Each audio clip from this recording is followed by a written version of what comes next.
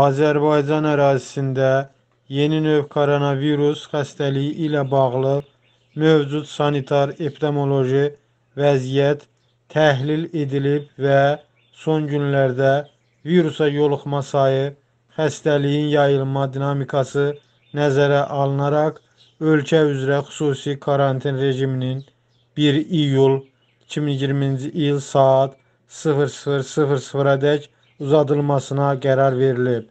Bununla əlaqədar olaraq Nazirlər Kabineti yanında operativ qərargah məlumat yayıb.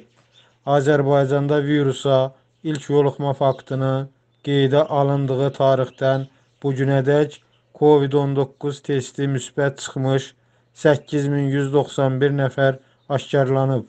Hazırda isə 3487 aktiv xəstə müalicəsini xüsusi karantin rejimli xəstəxanalarda davam etdirir.